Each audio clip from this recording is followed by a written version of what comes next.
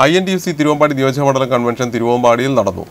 തിരുവമ്പാടി മാർടെക്സ് ഓഡിറ്റോറിയത്തിൽ നടന്ന convention I N D U C Kozhikode ജില്ലാ പ്രസിഡന്റ് കെ രാജീവ് ഉദ്ഘാടനം ചെയ്തു.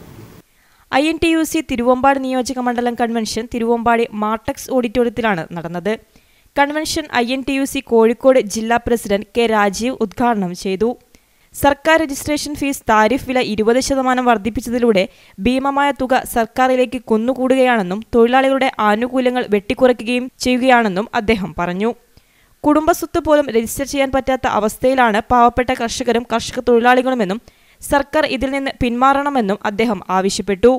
I N T U C Thiruvambady നിയോജക മണ്ഡലം പ്രസിഡന്റ് ടോമി ഇല്ലിമൂട്ടിൽ അധ്യക്ഷത വഹിച്ചു.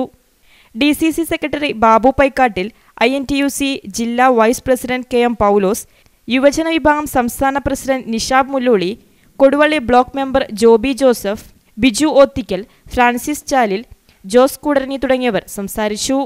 News bureau Thiruvambady.